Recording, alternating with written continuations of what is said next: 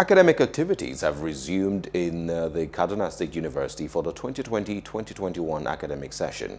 Returning and new students are coming on campus to discover something strange.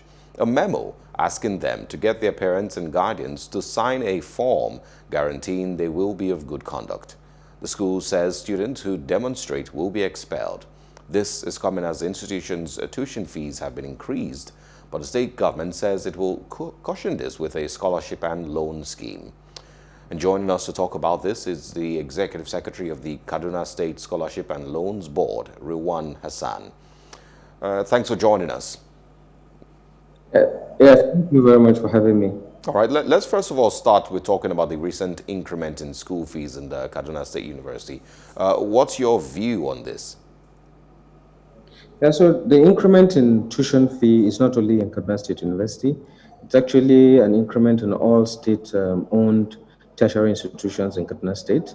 And uh, this increment is, uh, is extremely necessary, is uh, long overdue.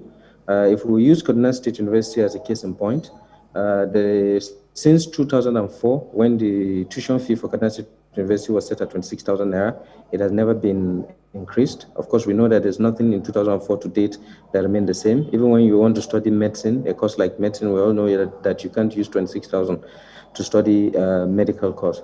So, but what the government is doing is the government is trying to see how to bring this fee to, uh, to par with reality so that we don't subsidize for those that can afford to pay.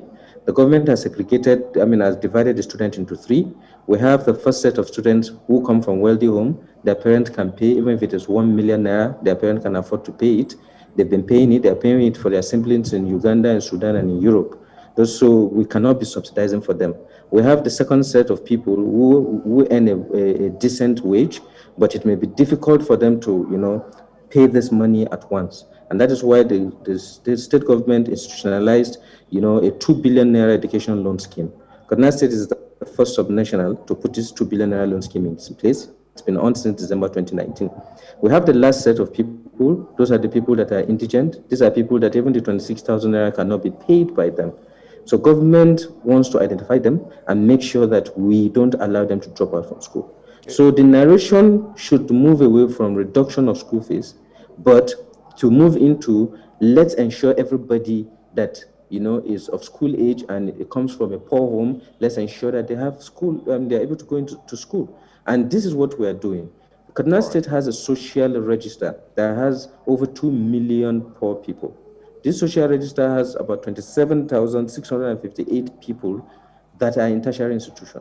So what we're doing currently is we're integrating this data into our scholarship uh, database so that once the student apply, they will be fast tracked and it goes straight to the, for the university to vet their studentship and immediately their tuition fees will be paid.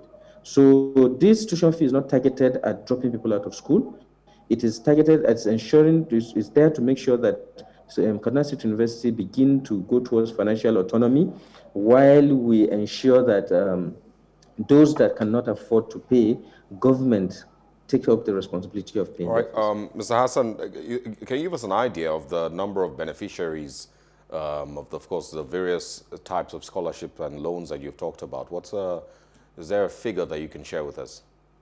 So, um, before now, we have a bursary in place. Every student gets 109,000. As at February 2021, when we suspended payment in view of this recent development, we had paid about 6,858 students. These students have earned 109,000. You will agree with me, there is no state in Nigeria that pays bursary of that amount to a student. Kaduna State have been paying this thing not for, I mean, for, for years now.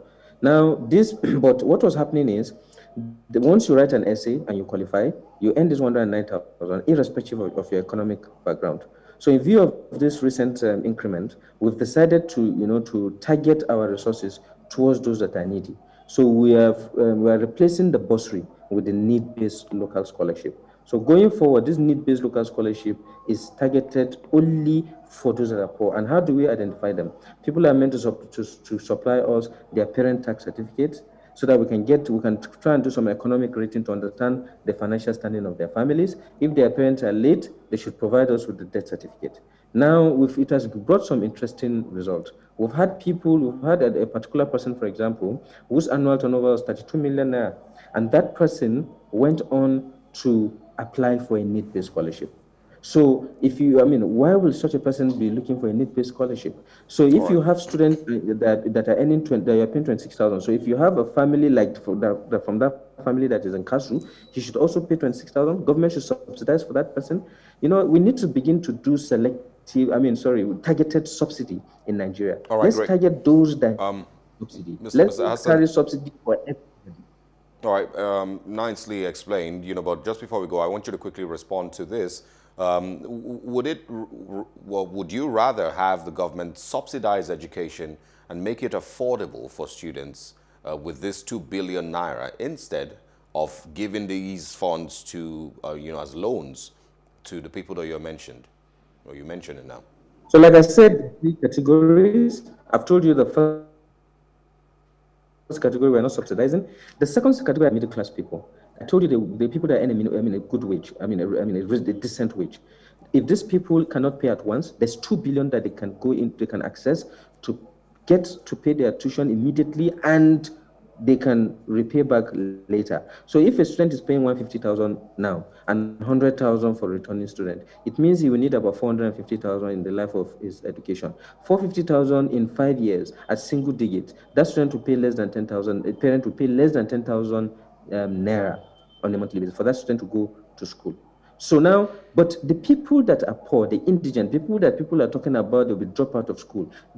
Our target for them is not loan. Our target for them is the need-based scholarship. So, and that need-based scholarship, the funds are available for them. The, whatever is the tuition, we will pay for them. All the right. governor, the um, honorable commissioner for education, and in my our office, we've consistently informed the student that nobody will drop out of school on account of inability to pay, except okay. if that person did not apply that um, for that scholarship. All right, Rilwan Hassan, thank you very much for joining us, and we hope that we can uh, extend this conversation uh, at a later time.